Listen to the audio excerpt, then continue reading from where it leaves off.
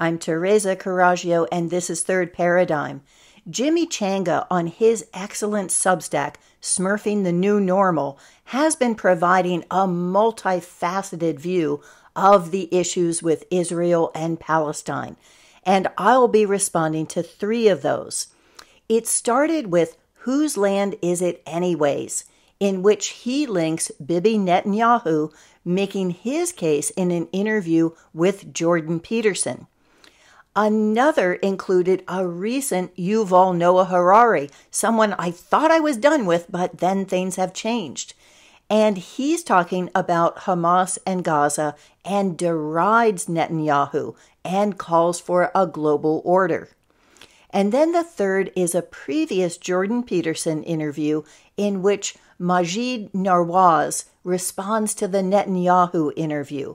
So these videos are excellent ones to watch, and I have all of them linked in the Substack. But first, I wanted to mention some links, partly so that I can close some of the 100 plus open tabs that I have right now. And these are all ones that I've read or I've listened to, but some of them I may follow up in another episode. I forgot that Julius Skoolafish was the one who had reviewed Son of Hamas by Mosab Hassan Yousef and raised some red flags. So these were things that also occurred to me when I was watching the videos linked there. Asa Winstanley of Palestine is Still the Issue is presenting some great sources. One is from the Electronic Intifada, reporting that UK Labour says Israel is right to starve Gaza children and another is The World Stands with Palestine Again and shows current protests, but also shows ones back to 2021 and ones now in countries that forbid them. Mnar Adley of Mint Press News has put out a video on Gaza concentration camp, which might be the best primer that I've seen on Gaza. Shahid Bolsen, which is Middle Nation, has another very interesting video on message to the Israeli people, and that's one I may respond to another time. Tereza's impromptu scribblings has a link to the 1948 film Creation and Catastrophe on the establishment of Israel as seen through the eyes of people who lived it. Matthew Lemire has stayed focused on Israel's vaccine policies, which is an important clue, I think, to their subservience to the World Economic Forum. Jimmy Changa also quotes Martin Armstrong and links a short video of Putin's view of the conflict and his offer to mediate. Charles Wright shows up Ron DeSantis as welcoming Israelis to Florida with a free charter flight and saying that as president he would allow no one from Gaza. A five minute video is really good on Mossad's responsibility for 9 11.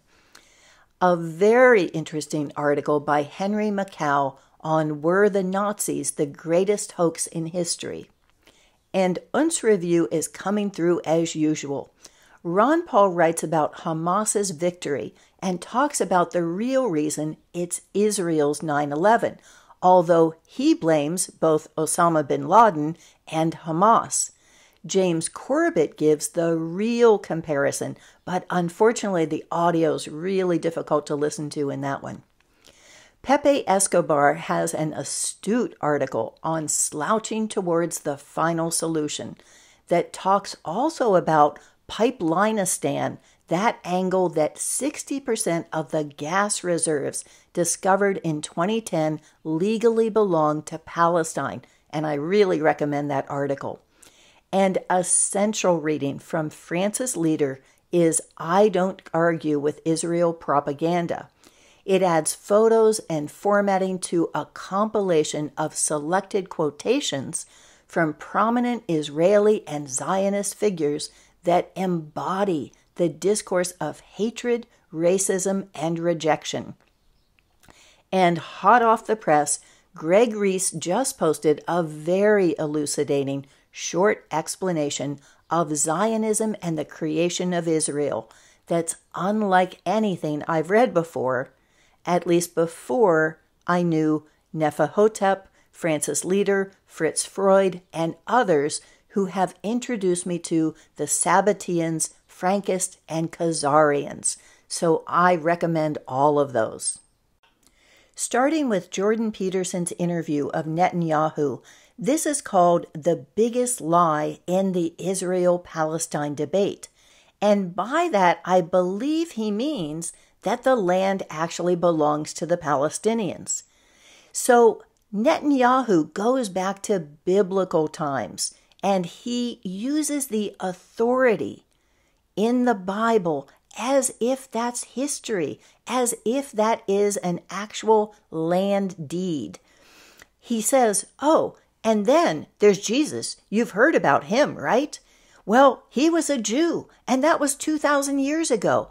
And so that shows that this land has belonged to the Jewish people since time immemorial.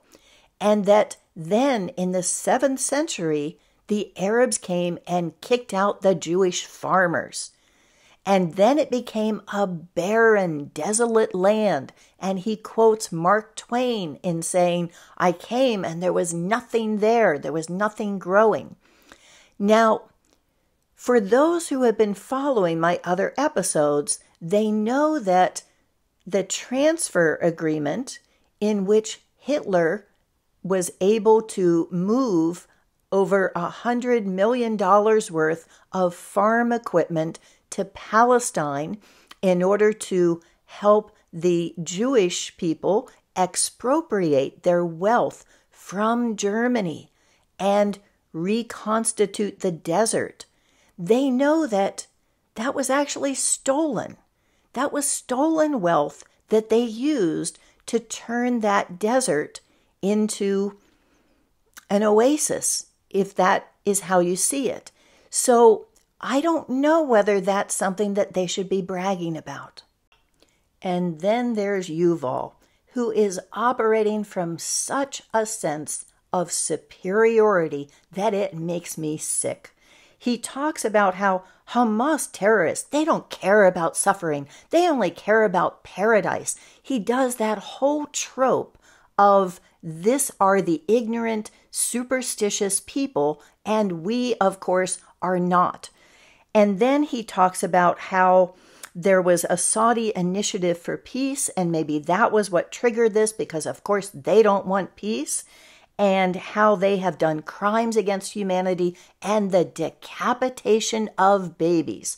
So, right there, I knew with him and Netanyahu using that, that he is a part of this plot, that he is fully complicit in what happened and is perpetuating these lies. He talks about Hamas using people as human shields and that that is why they need to move to the south, which I think is a million and a half people who are living in the north and who they're pushing to the south so that they can completely raze that area. And the host says that the only outcome he can see is the Israeli occupation of Gaza. And Yuval says others in the international community need to come in and disarm Hamas and rebuild Gaza. And the host says, well, what about the UN? Yuval says it's going to be very expensive, but if you really care about the suffering of people in the area, this is what you must do. He also says that Zelensky is the most inspiring Jewish leader in the world. He looks at the problem in the world as being too many populist leaders, and in that he puts Trump and Netanyahu, and that they are against the very idea of a global order. But if you don't have that, what do you get? Chaos, disorder. It's hard work, but someone has to do it and he and Klaus Schwab are up to the task. So the only offer on the table, he says, is the liberal global order. And then there's Maajid Nawaz and his interview with Jordan Peterson, which was primarily about words and language. And he pushes back against Netanyahu for using an exclusionary language, a language that not just diminishes the Palestinian, but completely erases and others. He talks about Judeo Christian civilization being a phrase that leaves out the Palestinian and all the rest of the world. And that when you only have your dignity left because everything else has been stripped from you, that that dignity is important. The only true peace is a peace of equals.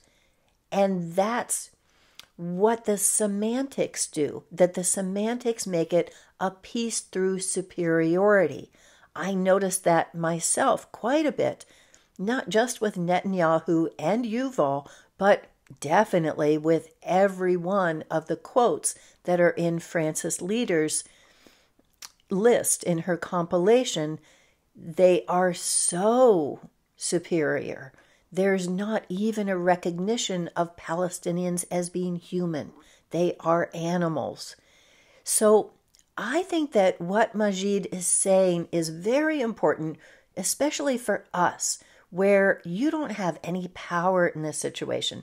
The only power that you have is the power of the words you choose to use. He says that words are spells, and in that he and Yuval agree. So when I look at words like terrorist, what I've pushed back to many of the people online is to define the word terrorist without using a proper noun. And no one has been able to come back and do that in a way that applies equally to Hamas, but not Israel.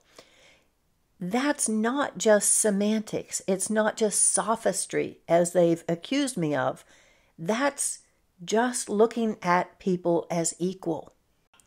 Jordan talks about major actors who want this conflict to rage unabated. And Maajid mentions Klaus Schwab and all of the major shocks that have been happening that are setting things into motion. And so, with the Great Reset, Jordan talks about a study that he did with a graduate student when he was a professor, and it looked at idea networks, ideologies that hang together, and what those were.